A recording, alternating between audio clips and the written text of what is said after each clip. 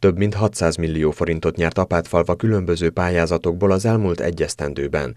Már 2021 elején 125 milliót nyertek a Start közmunkaprogramban, az itt dolgozó 80 ember nagy örömére. A helyi közvilágítási rendszerben az összes fényforrást újakra cserélte a szolgáltató, így ennek a hibáit is elhárították. Szekeres Ferenc polgármester elmondta, a Magyar Falu programon keresztül is sok fejlesztést tudtak végrehajtani a községben.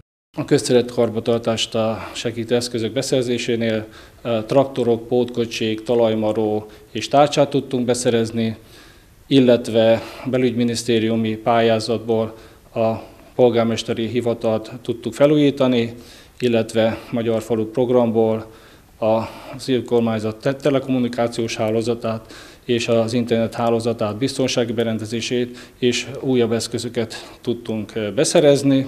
Hozzátette, Apátfalva elmúlt néhány hónapjában a legnagyobb beruházás minden bizonyal a piac megépítése volt, melynek megvalósulásán már évek óta dolgozik az önkormányzat. Ennek nagy része tavaly elkészült, már csak az apró munkák vannak hátra.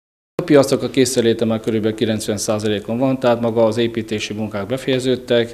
Eh, ami még hátra van, az a belső villanyszerelési munkák, vízvezetési munkák, illetve kint várjuk a jó időt, hogy a fűvel való telepítést, vagy fűtelepítést is ugye el tudjuk végezni, meg a padok elhelyezése. Tehát igazán a végstádiumban van már a, a piacnak a, az átadása, az előkészítése.